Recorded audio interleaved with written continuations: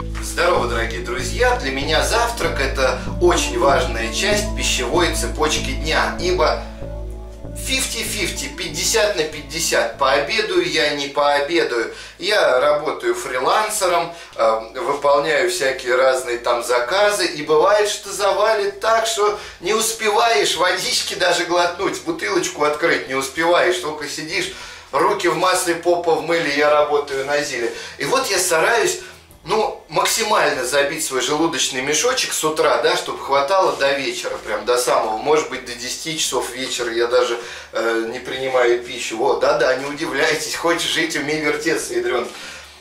Завтрак должен быть плотным. Вот сегодня решил поделиться с вами, друзьями, как я готовлю яичницу.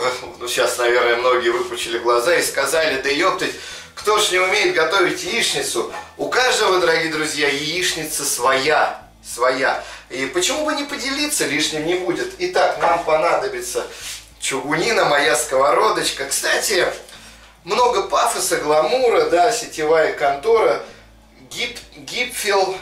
Но на самом-то деле, ну, это чугун, да, был на нее обзор. На самом-то деле, по прошествии уж, наверное, года я пользования вот этой сковородочкой убедился, что и не особо-то и супер-дупер.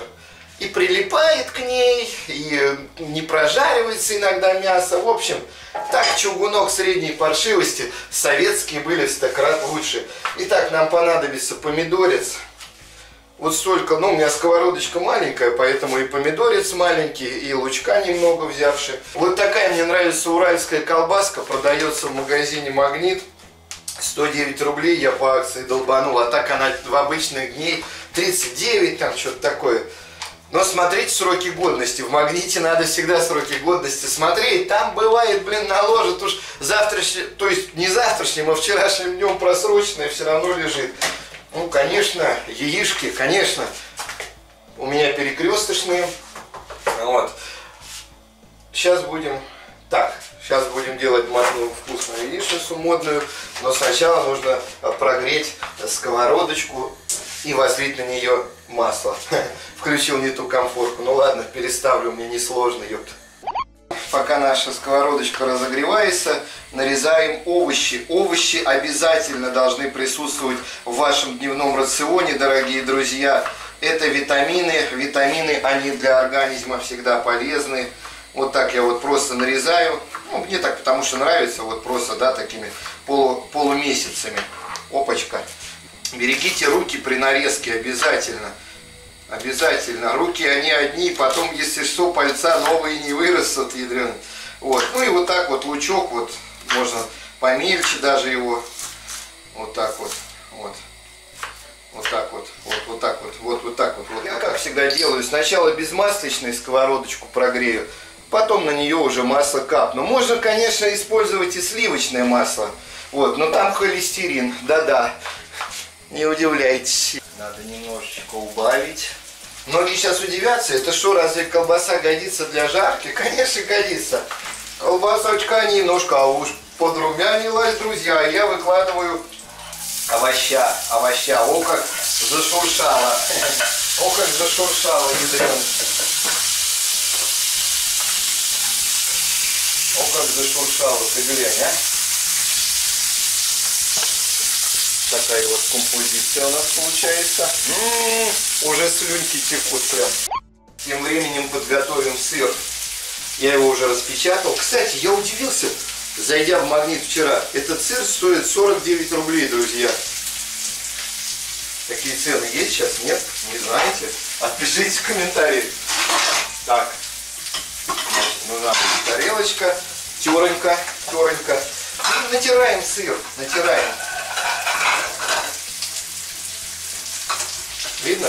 Видно, да? Натираем. На крупной, на крупной терке я долблю его. Как совет домохозяйкам сейчас пойдет лайфхак. Вот я открыл сыр, да, что с ним делать? Как его так возложить в холодильник? Да, так возложишь, он высохнет у вас за два дня. Короче, в любом есть продуктовом магазине вот такие вот пищевые пакетики. Пищевые пакетики, сокращенно ПП. Вот, пожалуйста, отрываем сюда, закладываем наш сырок. И он может уже лежать чуть ли не месяц прям в нем в вакууме. Вот так вот. Да-да. Заметьте, дорогие друзья, какая у меня чистая плита. Ухаживаю за своим кухонным оборудованием, держу все в чистоте, в порядке, чтоб служило долго. Тем временем у нас лучок стал золотистого цвета, приятного.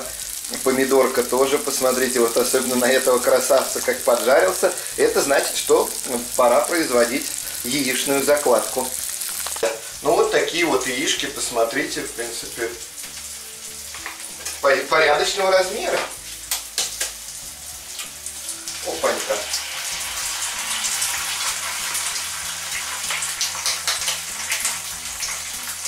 Опанька.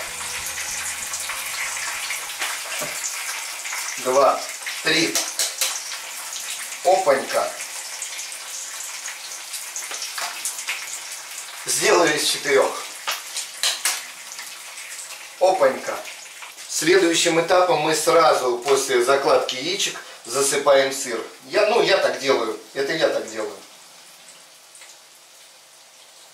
Засыпается сразу сыр, чтобы он пропитался, чтобы он туда вниз опустился, да, и пропитался весь яишенка сыром. А если, например, после того, как уже э, ну, поверху пойдет корочка яишенная, он на нее ляжет просто и будет просто поверху. А так он весь как бы будет сырной пропиткой. Это поинтересней, друзья. Так, конечно же, солим. Конечно же, солим. Немного, немного. Достаточно. И последний ингредиент, кстати, я забыл его показать в начале, когда проводилась э, ну, презентация того, что нам нужно. Э, вот такой вот зелень петрушки засохшей я использую. Тоже поверхностно посыпать лишним не будет петрушечкой. Это и для красоты, и зелень, она всегда полезна. В нем содержится в зелени кератин или не кератин. В общем, что-то в нем содержится, что там полезно. Ну и как узнать, что яишенка наша готова? Ну, очень просто. Сырок э, расплавился, сама она поднаторела э, пленочкой такой легонько заметной, да, но она есть. Вот, краешки поджарены. Видно то, что краешки. Как бы к сковородке, зараза, не прилипло. Да нет, не прилипнет, там же масло. А, ну да, точно. Ну что, время подавать на стол и дегустировать. Ну что, кто скажет, что это не питательно, пусть опять же поставит дизлайк Симонову. Как дополнительное оборудование я использую кофеек и вот такой вот соусок Астория сметанный да с грибами. Понравился, понравился. Сейчас разнообразное количество всяких разных соусов продается.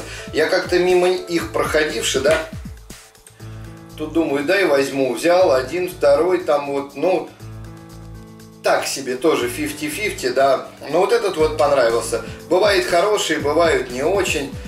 В большинстве своем ладные соусы.